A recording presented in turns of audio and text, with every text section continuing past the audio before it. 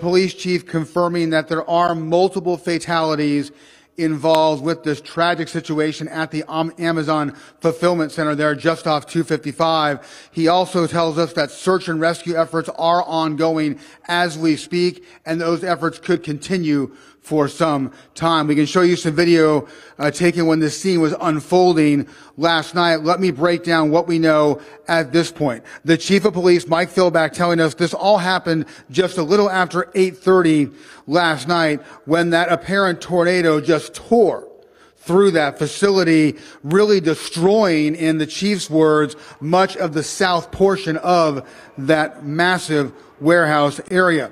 One of the difficulties that they're having at this point, that authorities are having, is trying to get a solid count of the amount of workers who were in the building at the time. Amazon officials are at the site there trying to compile a list so that authorities can work off that list and make sure everyone is accounted for.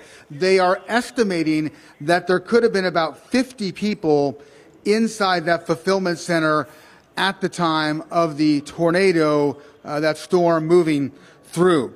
Here is the figures we can bring you at this point. About 30 people were able to get out on their own and were taken by bus to the Pontoon Beach Police Department. One person who was rescued from the rubble was taken by helicopter to a St. Louis hospital. We don't know the condition of that person. There were a few other minor injuries there and then the fatalities, which we do not have an accurate count of right now.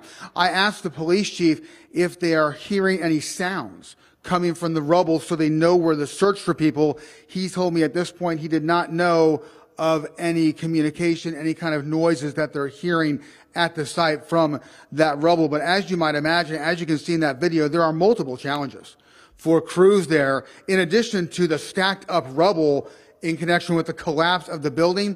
They were also dealing with water issues initially because obviously the water lines were broken. And then they had power line issues to contend with. The power there has now been turned off, as has the gas. In terms of how long the search and rescue could continue, Mayor Risavi, the mayor of Edwardsville, telling us this could go on today, possibly into tomorrow, and maybe the next day as well. At this point, there is no timeline for when that search and rescue uh, might tragically turn into a search and recovery. The police chief, though, making it very clear at this news conference that they are committed to staying at that site until every single person is accounted for. One of the priorities, Ty, going forward here today is going to be to try and establish that accurate list so that authorities know just how many people were in that building, so they can know just how many people might be left in that building at this point. One other factor there, the chief also telling us in this news conference that some of the people